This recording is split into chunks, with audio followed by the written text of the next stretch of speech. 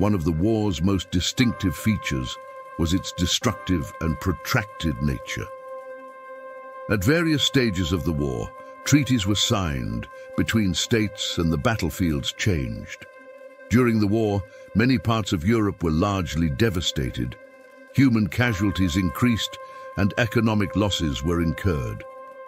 One of the outcomes of the war was the signing of two separate treaties known as the Peace of Westphalia. The